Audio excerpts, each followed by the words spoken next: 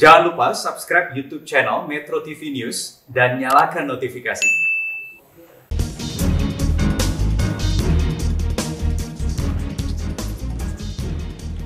Terima kasih pemirsa Anda masih bersama kami. Eh, Bang Oden sebelum kita berdiskusi Bang, kita coba bertanya dulu kepada pakar hukum pidana yang saat ini sudah tersambung lewat saluran, saluran telepon, Asep Iwan Iriawan. Kang Asep, selamat pagi. Selamat pagi, sama-sama di studio. Sehat selalu, semangat.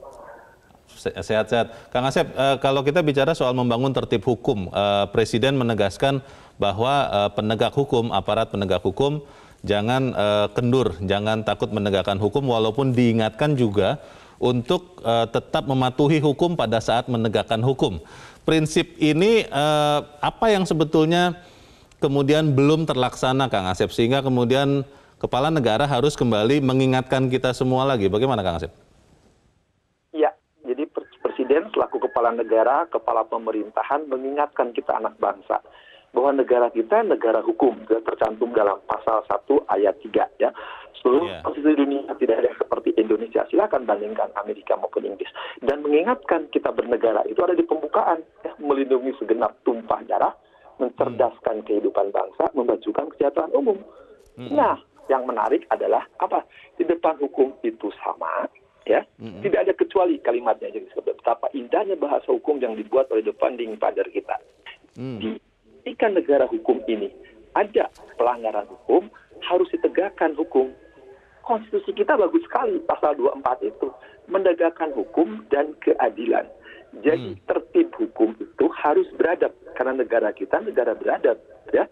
Nah, Ya. negara beradab itu ada peradaban hukumnya, tegakkan hukum, baru tegakkan keadilan. Ada prosedural, jadi hukum itu kan, nah hukum acara. Nah, nanti keadilannya, mari di pengadilan, di sistem kekuasaan kehakiman. Karena Hmm. kekuasaan kehakiman itu independen, imparsial. Jadi ini bicara Ya. sekali lagi, Presiden mengingatkan kepada kita sebagai warga negara, beliau sebagai kepala negara, ayo tertib bernegara ini tertib hukum. Ya, jadi ada Oke. aturan main ya dalam sebuah Ya. hakimah gitu. Kang Asep, kalau ada yang mengatakan begini bahwa eh, Indonesia negara hukum memberikan kebebasan bagi warganya untuk menyatakan pendapat di hadapan eh, hukum dan kemudian kalau kemu- eh, pendapat itu dianggap bertentangan dan lalu ditegakkan penegakan hukum, maka itu berarti eh, rezim sedang eh, menegakkan eh, dengan otoriter. Menurut Kang Asep bagaimana? Kita sepakati kesepakatan suci kita tahun 45 loh bahasa hukumnya bahasa yang dibuat oleh para begawan. Mereka bukan ahli Iya. hukum loh. Empat ulama, lima nasionalis. Pasal 28-nya asli loh, belum dirubah ya. Kemerdekaan berserikat, berkumpul, mengeluarkan pendapat dengan lisan tulisan bagaimana tetap undang-undang. Tapi ada batasannya. Ya, Hmm. hormati hak ajasi manusia orang lain dalam tertib kehidupan bermasyarakat, berbangsa, dan negara. Bayangkan kalimat-kalimat itu adalah kalimat ahli, ahli hukum yang terbuat tahun 45. Jadi Ya. ketika ada orang mengatakan rejim, ini berperan pemerintahan. Silahkan di Republik ini menyatakan berserikat, berkumpul, menyatakan pendapat. Tapi Hmm. ada aturan main tadi kembali ke 24. Ya. Nah 24 itu mengatakan ya nanti selesaikan Hmm. tegakkan hukum. Bahkan pasal 27 lebih hebat lagi kan. Ya, di depan hukum Oke. itu sama. Ya, nggak ada yang bedanya. Ya. Yang beda itu kan depan mertua, sebenarnya kata-kata. Ya. Jadi intinya tetap eh, semua warga negara bersamaan kedudukannya di hadapan hukum dan penegak hukum harus dengan terukur menegakkan hukum begitu ya Kang Asep ya? Iya, kan kalimatnya jelas. Tadi kan pemerintahan ini berdasarkan hukum dan segala Iya. war karena kalimatnya saya ulang ya, segala warga negara tidak ada kecualinya. Sekali lagi Hmm. baik penegak hukumnya, warga negaranya, ketika menegakkan hukum, ya tadi untuk mencerdaskan bangsa itu harus cerdas kalimatnya. Bangsa ini Iya. sejahtera, cerdas itu bukan untuk culas. Sejahtera itu bukan untuk pribadi tapi untuk umum. Jadi bahasa konstitusi, bahasa kesepakatan bangsa negara kita ini sudah tercantum di perjanjian luhur di antara kita. Itulah the founding father kita. Dan oleh presiden diingatkan, jadi kalau ada warga negara yang tidak tertib hukum, tidak kembali kepada aturan main, saya pikir jangan hianati apa yang dipesankan dan didirikan negara ini untuk republik ini. Kan hebat sekali Baik. itu bahasa itu bahasa hukum kita loh yang tidak ada di dunia silakan apa harus katakan bahasa konstitusi bahasa hukum ini coba hanya ada di Indonesia dan Indonesia Iya. ini kalau dibandingkan negara lain salah menganut untuk segala warga negara yang sama depan hukum dan kembali Oke. kita beradab dalam beradaban hukum. Baik. Berhukum Terima kasih. dengan beradab. Ya, sama-sama. Ya, baik. Terima kasih Kang Asep Iwan Iriawan untuk eh, pencerahan pagi ini. Selamat pagi, Kang Asep. Pertanyaannya begini, Bang Gaudens, kalau kemudian semua warga bersamaan kedudukannya di hadapan hukum dan negara sedang menegakkan hukum, kalau ada sebagian yang mengatakan bahwa itu berarti rezim semena-mena, ini bagaimana mendudukan masalah sesungguhnya? Karena di dalam persoalan hari-hari belakangan ini banyak juga bang yang percaya bahwa negara ini sedang semena-mena.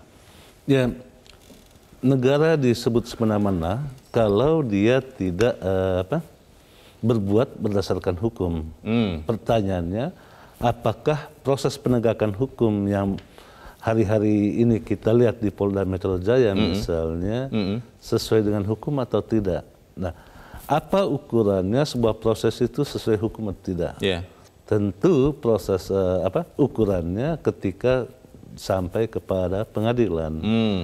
Tetapi di tengah itu sebelum sampai ke pengadilan, Iya.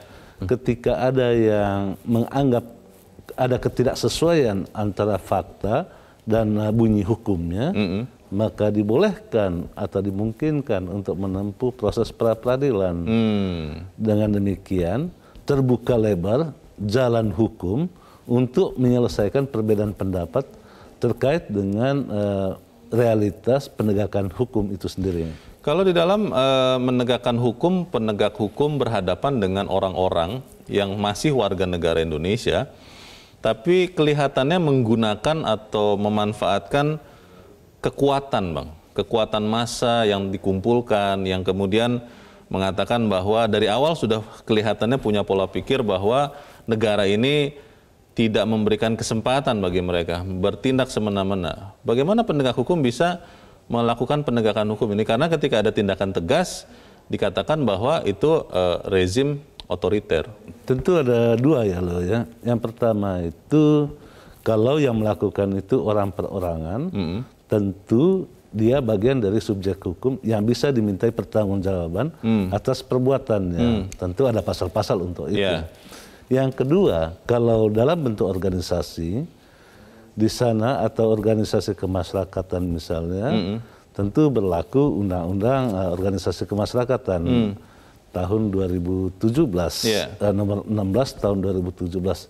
Jelas kok di sana eh, terhadap eh, segala perbuatan yang terkait dengan apa intoleransi misalnya Iya. atau melakukan penodaan terhadap ajaran atau terhadap agama ada hukumannya. Hukumannya itu lima tahun sampai 20 tahun. Disebut di dalam undang-undang ormas itu. Iya, jadi sebetulnya semua kita, Bang Gaudens dan saya juga warga negara punya juga kewajiban ya di dalam sistem hukum supaya tidak bertindak semena-mena terhadap orang lain juga. Pertanyaannya begini Bang, bagaimana ini benar-benar bisa menjadi kesadaran, bukan karena ditegakkan oleh penegak hukum akan kita bahas di bagian berikut. Dan pemirsa tetap bersama kami editorial media Indonesia segera kembali.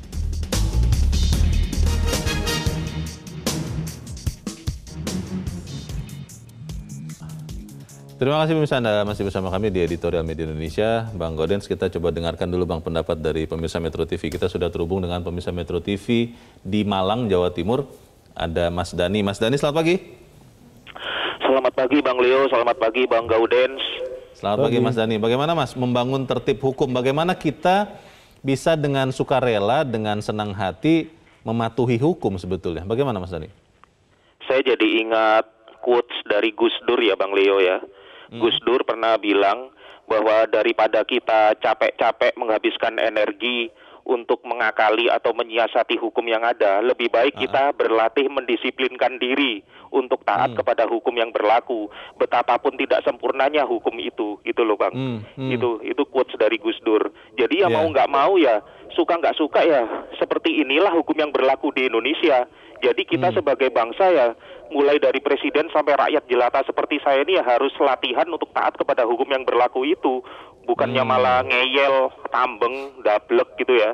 Kita ngelawan terhadap hukum yang berlaku gitu loh. Iya, iya. Gitu. Terus saya juga sangat mengapresiasi aparat kepolisian yang sudah membuktikan ketegasannya ya menindak ormas-ormas ormas itu ya, ormas Yeah. itu. Jadi pimpinannya sudah ditahan. Saya sangat apresiasi. Saya berharap proses hukumnya tetap berjalan. Aparat jangan kendor, jangan sampai aparat aparat kepolisian kita kalah dari ormas-ormas tertentu gitu ya seperti Yeah. 8 tahun yang lalu waktu Yeah. konser Lady Gaga konser Lady Gaga aparat kepolisian sudah memberikan izin tapi karena ada tekanan dari ormas itu akhirnya m- mereka terpaksa membatalkan gitu ya karena Oke. seolah-olah polisi takut terhadap ormas itu jangan lagi itu terulang lagi hal seperti itu Baik. gitu terus yang kedua saya juga sangat eh, berharap eh, para simpatisan atau pendukung atau pecinta eh, pimpinan ormas yang ditahan itu agar jangan lagi menciptakan narasi-narasi yang mengatakan bahwa umat Islam teraniaya, umat Islam diperlakukan tidak adil, sedangkan OPM dibiarkan gitu loh. Jangan lagi ada narasi-narasi seperti itu. Ya Baik. sudahlah, ikuti saja proses yang berlaku gitu. Baik. Itu. Terima kasih Mas Dani di- Bang. Baik, terima kasih Mas Dani di Malang, Jawa Timur. Selamat pagi Mas. Di belakang Mas Dani ada Ibu Lia di Makassar, Sulawesi Selatan. Ibu Lia, selamat pagi. Assalamualaikum. Waalaikumsalam. Bagaimana Bu Lia pendapat Ibu? Silakan Bu. Ya ini kan harus berjalan seiring Pak ya. Menegakkan hukum dan mematuhi hukum. Jadi pejabat dengan masyarakat. Ya, Eh, cuma biasa memang di lapangan Pak ya. Saya pribadi ini biasa juga hanya melalui televisi. Itu sering juga memang agak beda ya. Seperti kata pepatah eh, tajam ke bawah tapi tumpul ke atas. Eh, seperti Oh. ini eh, saya tidak eh, saya tidak membahas tentang ormas Pak ya. Tapi ini dalam masa pandemi ini. Di sini penegak hukumnya biasa memang agak eh, tidak berimbang. Eh, seperti kata ini masalah antara eh, mengadakan pesta dengan konser. Ya. Ya. Itu kan konser kan ditonton seluruh Indonesia Pak ya, langsung secara langsung oleh dilaksanakan oleh inisiatif pejabat. Eh, Hmm. Hanya kata minta maaf, tidak ada eh, diterka selanjutnya. Sedangkan masyarakat yang mengadakan misalnya pesta tapi hanya ditonton oleh segelintir itu eh, di uber-uber ya. Hmm. Oh. Jadi memang oke. agak salah juga ya. Eh, kita ini mau mematuhi hukum ya sebagai warga masyarakat itu harus itu harus pak ya harga mati Ya. itu harus mematuhi hukum. Ya. Tapi begitulah Eh, di lapangan itu kadang-kadang memang ada rasa seperti Harus tidak adil atau kurang ya? adil lah. Iya kurang Oke. adil lah. Ah, tapi kita tidak boleh membesar-besarkan itu pak ya. Kita harus Baik. eh, kerjasama membangun masyarakat kita ini.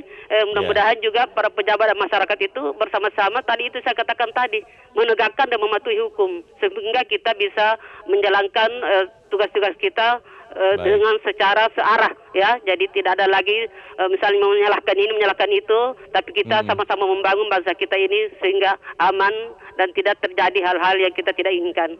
baik. Terima kasih Ibu Lia di Makassar, Sulawesi Selatan. Selamat pagi. Di belakang Ibu Lia ada Pak Nugroho di Jakarta. Pak Nugroho, selamat pagi Pak. Selamat pagi Bung Claudian, selamat pagi Bung Reonas.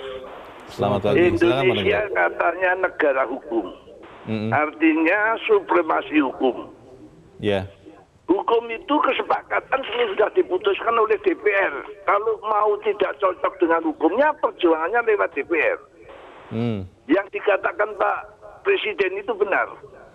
Tegakkan hukum, aparat harus berani menegakkan hukum. Bertahun-tahun rakyat itu merasa hukum itu diinjak-injak, Pak.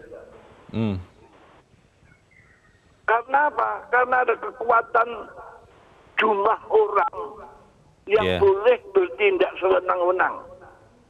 Yang harus menegakkan hukum itu ya aparat hukum, Ya. polisi, tentara, dan sebagainya.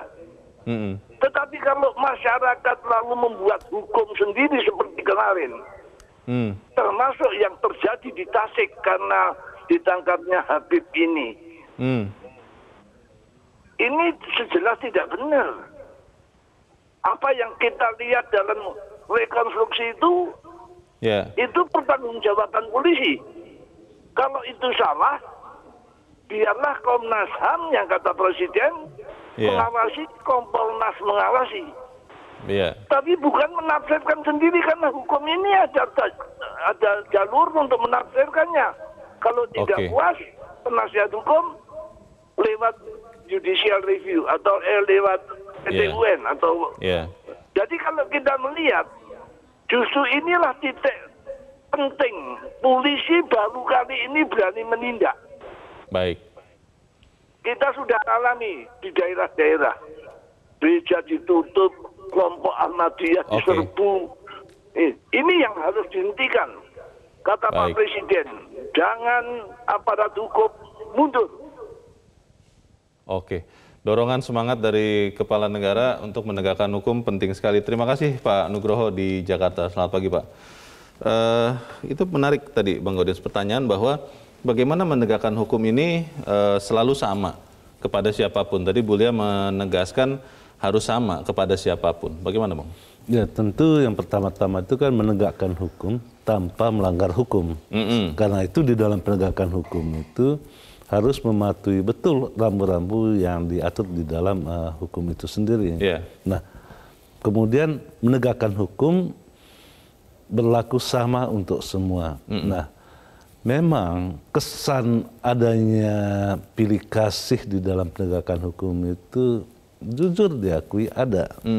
Terutama kalau hukum itu berhadapan dengan figur publik yang memiliki masa Kekuatan ya. kekuatan. Iya. Pada titik itu selama ini bahkan sejak reformasi ya banyak sekali ormas dibiarkan melanggar hukum di hadapan aparat penegak hukum.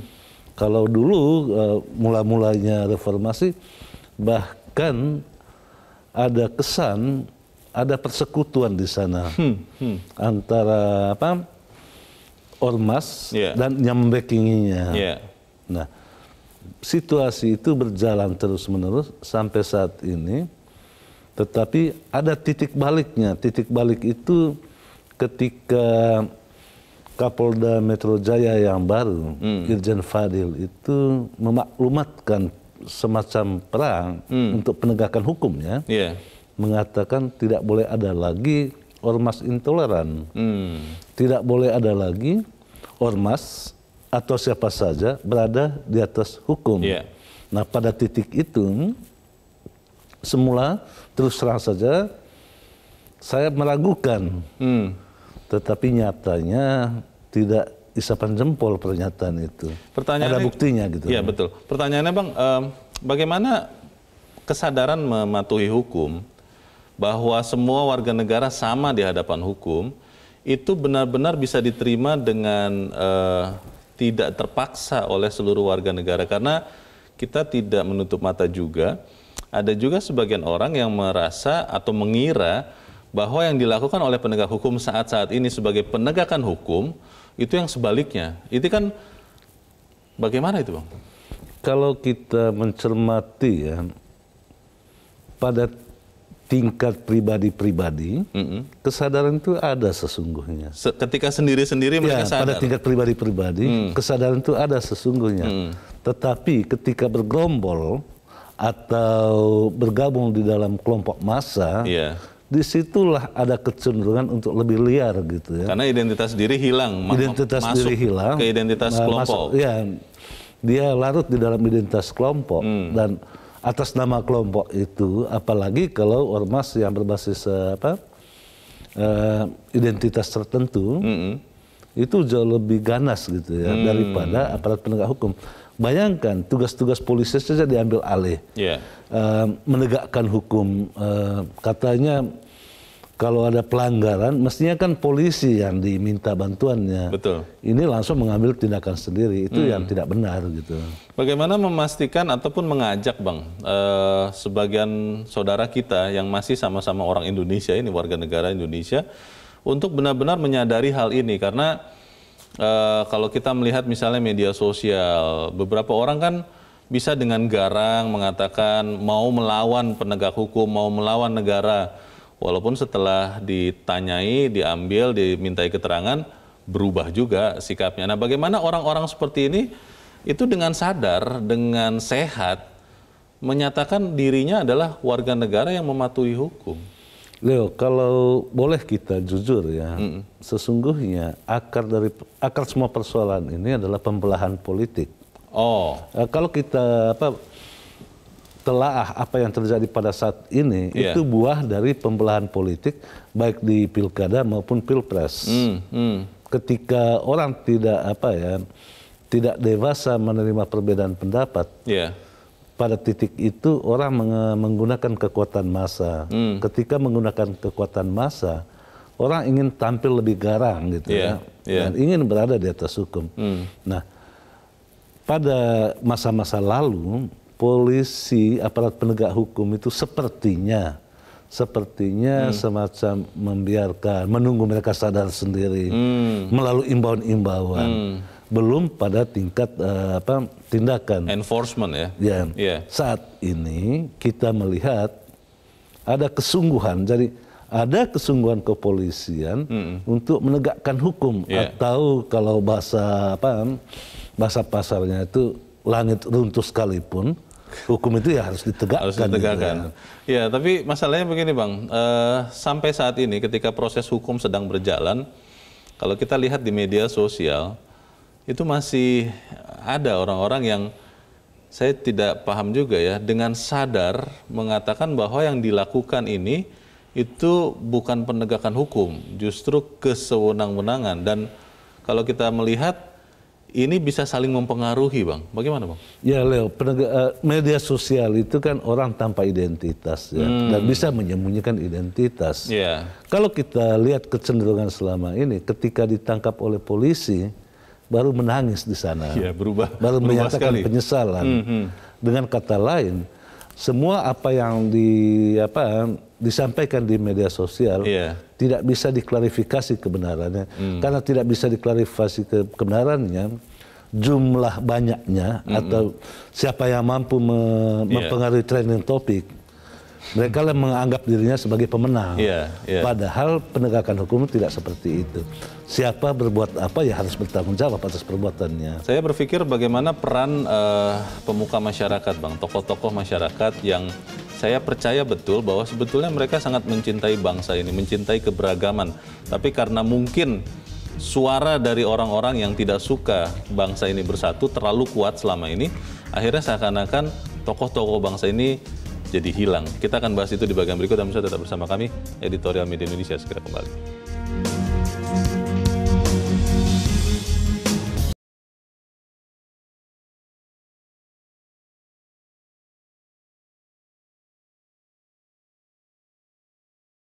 Kami kita di bagian akhir dari diskusi kita pagi ini. Bang Godens, eh, bagaimana memastikan bahwa bangsa ini, termasuk warga bangsanya, saya, Bang Godens, dan saudara-saudara kita yang lain, itu bisa mematuhi hukum dengan kesadaran, Bang. Dan juga kemudian tidak eh, menerima intoleransi itu sebagai sesuatu norma yang yang sehat. Bagaimana, Bang? Ya ada yang mengatakan begini loh dan ini menarik ya bahwa orang-orang yang intoleran maupun eh, orang-orang yang berideologi kekerasan Heeh. mereka memenangi apa ruang publik bukan karena mereka kuat Heeh. tetapi karena orang-orang baik pada diam. Oh iya.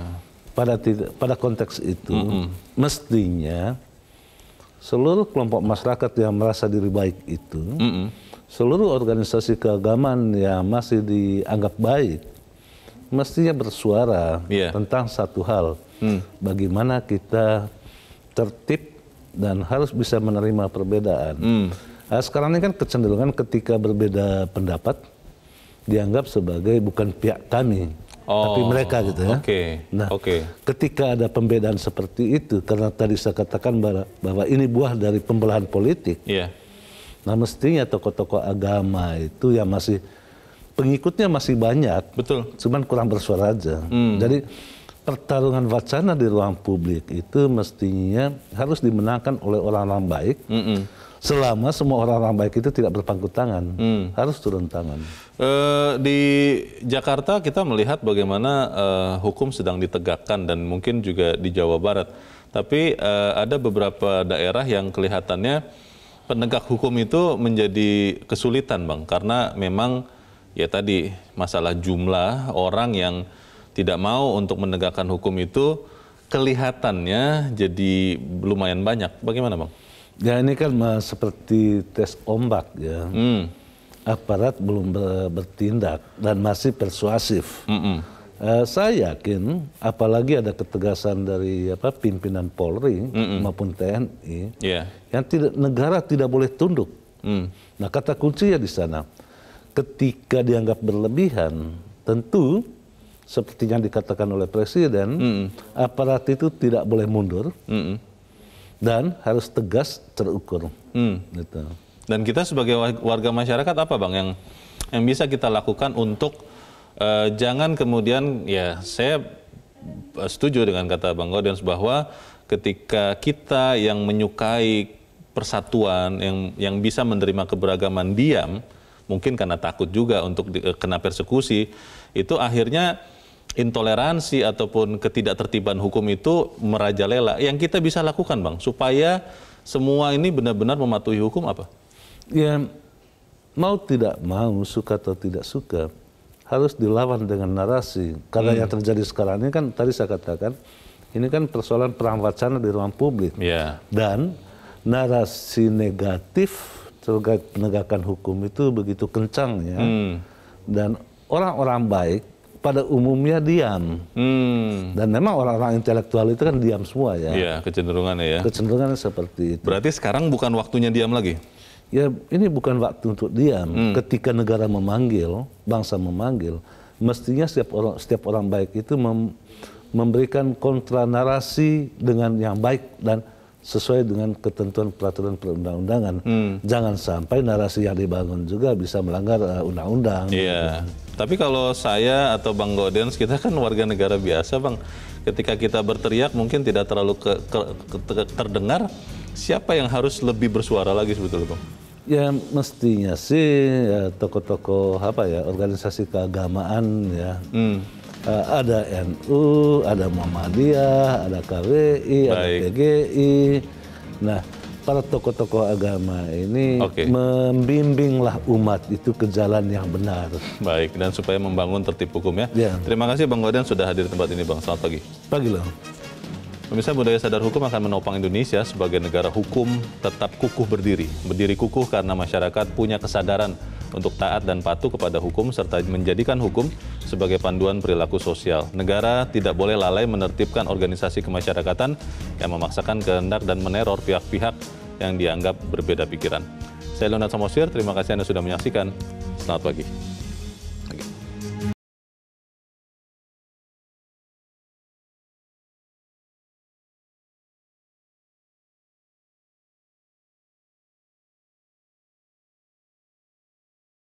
Metro TV, knowledge to elevate.